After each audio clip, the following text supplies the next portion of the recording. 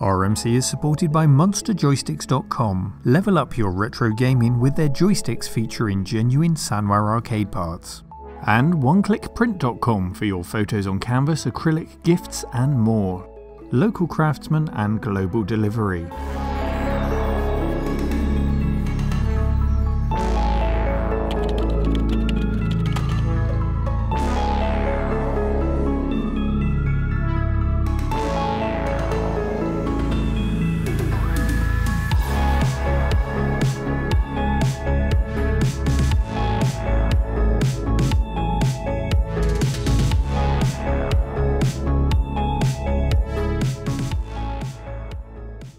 Hello cave dwellers, welcome to the cave for the final part of our Amstrad Mega PC restoration.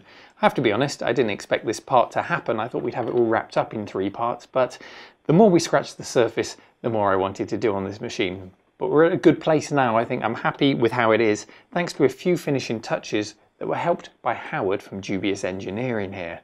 Here is Howard with his 3D printer, and he helped me to design an ISA backplate into which we mounted the fan controller, so that's now easily accessible. And I would have loved to have made the compact flashcard accessible, but we couldn't quite get the design working for that. But instead we have the battery mounted there nicely. And we added a socket for the battery, so I know some of you had concerns in previous episodes that I might plug the battery in the wrong way round. Well now that's not possible, it can only be plugged in the right way on this socket. So thank you for your suggestions and feedback to help us make this better than it otherwise would have been. Now for testing, we need to talk about the monitor quickly. This is the original multi-sync monitor. It switches between 31 and 15 kilohertz and it's on loan. So I've had to find an alternative. And to get around that problem, I've used this. This is the OSSC or open source scan converter. It's a line doubler, a very rapid one at that. And it means that we can use a regular CRT monitor. Uh, in fact, it outputs through HDMI, but through the use of an HDMI to VGA dongle. We can use a regular 31 kilohertz VGA monitor. Yeah, it works great. This is the second CRT I tried. The first one I tried would go blank for a few seconds every now and then. It was very annoying and I thought, okay, it's not going to work. But when I tried the Packard Bell CRT instead, that's been rock solid. And of course, a flat screen is an option, either with VGA or, or HDMI or DVI. Lots of options, lots of ways that you can use the Mega PC despite its need for a multi-sync monitor. And one last thing before we get stuck into using the machine, I did promise you some upgrades just because, well, because we could, to see if it makes any difference. The first being this, this is a maths coprocessor, a 387 maths coprocessor to complement the 386 CPU. And I also threw in as much video RAM as I could squeeze in there, taking us from 256 to 512 kilobytes of video RAM. So our Mega PC is fully loaded, ready for action. And I promise you, I'm not going to skim over any frustrations or annoyances. We'll take an objective look at this despite all of the hours that I've put into refurbishing it. We'll try and make it a realistic overview. So, you ready for some gaming, Alan? Ah! We're not really that kind of channel, Alan. Just take it easy. This is my game face, Neil. I'm gonna destroy you.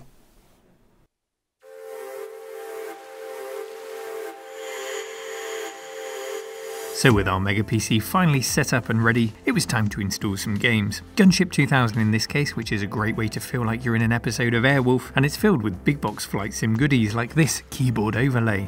I really miss the event that was opening and playing a big box PC game. Anyway, we'll pop the discs in to install our attack helicopter, and I heard you like games with your games, so while that's installing from floppy disk, we can switch our Mega PC over to Mega Drive mode, in which I'm using an EverDrive cartridge.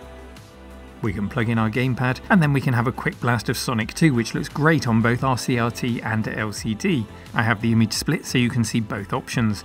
And here too is a direct capture so you can see just how lovely that picture quality is coming directly out of our Mega PC.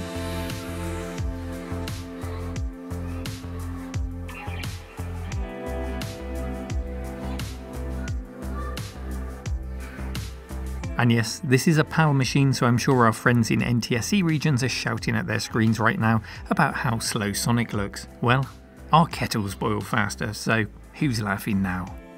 Flicking between the Mega Drive and the PC never gets old on this machine, but there is a small change which could have made it a whole lot better.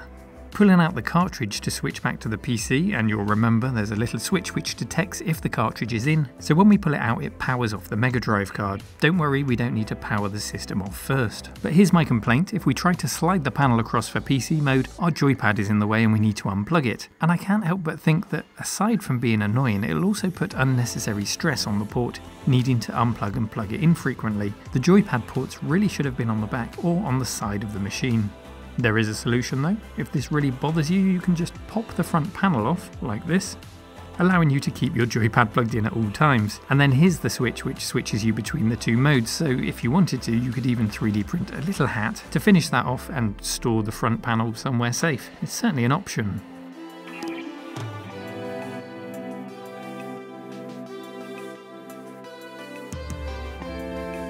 After some Sonic, our gunship is ready to take off, so we went for a little fly. This is a game from 1991, and with the detail turned down a little bit, it's perfectly playable on our Mega PC, and it gives you an idea of the 3D performance of our 386. It's not silky smooth, but I would have certainly enjoyed this performance back in the day.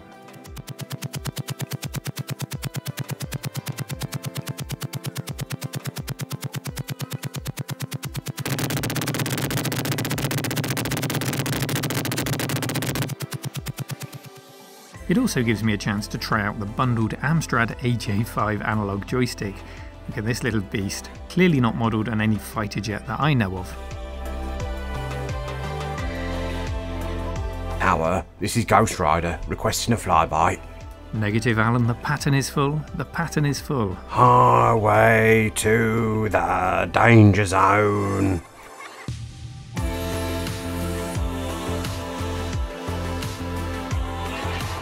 Let's take a quick look then at some benchmarking. And if you need to benchmark your 386, then the quickest way to go about getting some tools is thanks to Phil's Computer Lab. He's put together a 386 benchmarking pack, and there's a link to download that from Phil in the description. And of course, you should check out his fantastic YouTube channel. In the pack we find various tools like this. This is the Superscape 3D benchmark, and that's putting our machine through its paces with some 3D rendering. And we've also got Top Bench, which I've already run on the stock Mega PC, which is on loan. If I run it on our slightly upgraded Mega PC, then we have some results to compare. Our upgraded Mega PC reports a 10% performance increase over the stock one, with a top bench score of 53 compared to the stock score of 48. It's not without anomalies though, it detects the stock correctly as having a 25 MHz CPU, but it detects ours as having a 33 MHz CPU. So I'm not quite sure why there's a discrepancy there, this is sold as a 25 MHz PC. Both tests were carried out using the compact flash adapter, so there should be no difference in the disk speeds to skew the results. Our next benchmark, System Speed Test, detects correctly that we have a 25 MHz CPU, but says it's running at 34 MHz, and it says we have a 287 Maths coprocessor running at 60 MHz. This is definitely a 387 coprocessor, so there are some oddities here, but it is very definitely detecting that coprocessor.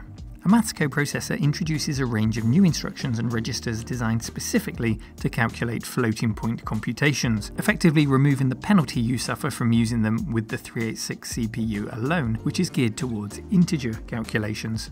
The later 486DX range of processors, Pentiums and beyond, all had maths coprocessors built into them, but before that it was an optional extra, and we all know what happens when something isn't standard. Yes, programmers aim for the lowest common denominator to make the most sales. So to find software for our 386 that specifically shows off a maths coprocessor is quite a difficult task. We're talking CAD packages like AutoCAD, spreadsheets like Lotus 123, and databases and mathematical or statistical packages. Checking my shelves, the only thing I could find that supports a maths coprocessor is this. It's Falcon 3, a hardcore flight sim from the period, and it says that by having a maths coprocessor we can enable a high fidelity option which offers an actual flight model developed for Air Force training. Buying a maths coprocessor to enable floating point calculations for a more accurate flight simulation model. Not right now, thank you. I've got apples to collect. Gaming on the Mega Drive is an absolute joy on this machine. Granted, I couldn't have recommended it with a £999 price tag on release, and I can't really recommend you get one today just for Mega Drive gaming. They command several hundred pounds in decent shape, but it's probably the best picture I've ever seen come out of Mega Drive hardware. There is one flaw though, and that's with the original monitor, which I'll plug in now to demonstrate. The Amstrad monitor does offer a lovely rich picture, much better in fact than my own CRT, but if you cast your eye to the edge of the screen it all gets a little bit strange. Hopefully you can see what I'm talking about here at both the left and right extremities where it starts to warp. It's almost as if the image wraps around back on itself. Here's a more prominent example in Ghouls and Ghosts, and some of you spotted this in episode 2 and commented on the fact. On my display on the right it's not an issue, perhaps because it's through the OSSC, or perhaps because I don't have horizontal width control on this monitor to fill it all the way to the edge of the screen. But a direct capture from the machine clears things up. There's no such warping on the output. So I think we can conclude that that effect is caused by Alan's cheap monitor. Affordable, not cheap. What's the difference then, Alan? About 40% more profit for me. Is it any wonder you're no longer in business?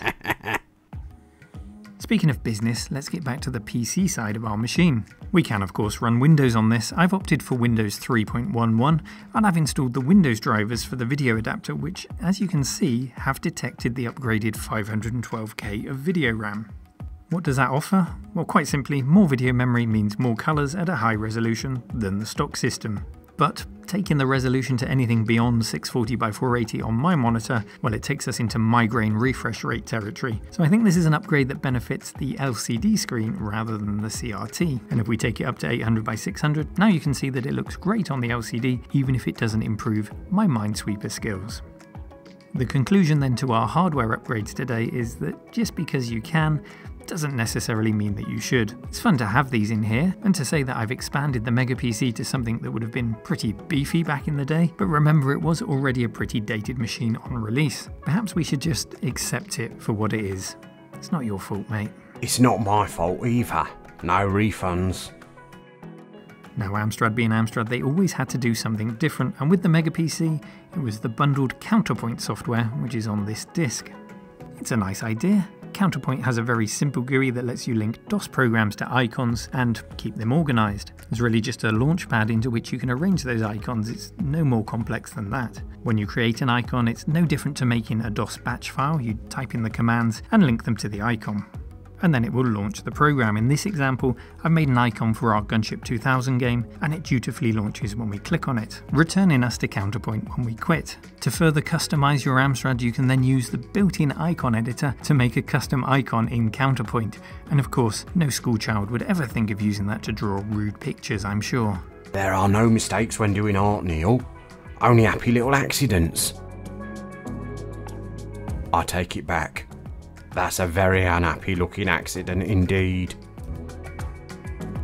After extended use of the machine, I came to realise that there's this odd hybrid niche that it fills beautifully. That's the combo of Sega Mega Drive for arcade classics, of course, and on the PC side it runs all the Sierra and LucasArts point and click adventures I've thrown at it beautifully, as well as some dungeon crawlers and Ultima 6. What the Amstrad Mega PC became for me is not an early 90s 3D flight sim powerhouse with its maths coprocessor, which is sort of what I had in mind, but a lovely machine to sit down at with a cup of coffee and patiently play play a nice adventure game. Taking periodic breaks for a blast on Shaq Fu while you think about how to solve the next clue. It's a patient gamer's machine from an era where we could sit down and focus on that single adventure game and not be distracted by our phones or social media. But it suits our modern minds because we absolutely can fry our brains with some blast processing when our attention span runs out. So despite all its underpowered flaws for the time, this actually suits me just perfectly for a spot of retro gaming.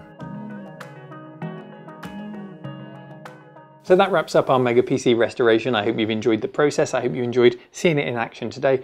And I'd love to hear your thoughts in the comments. Do leave a comment. Do let me know what you'd like to see running on it uh, and whether you'd like one. Is this a hybrid too far or is this a machine that you'd like to have in your collection? Let me know. I'd like to say a special thank you to Andy, who very kindly sold me this machine. He approached me and offered it to me. So I really do appreciate that opportunity. Thank you, Andy. And I hope you personally like what we've done to it because it was caught just in the nick of time when it arrived with that leak. So I hope I've done you proud, Andy. I'm heading up to the loft now to pick out something for the next Trash to Treasure series. Until then, thank you for watching. See you next time.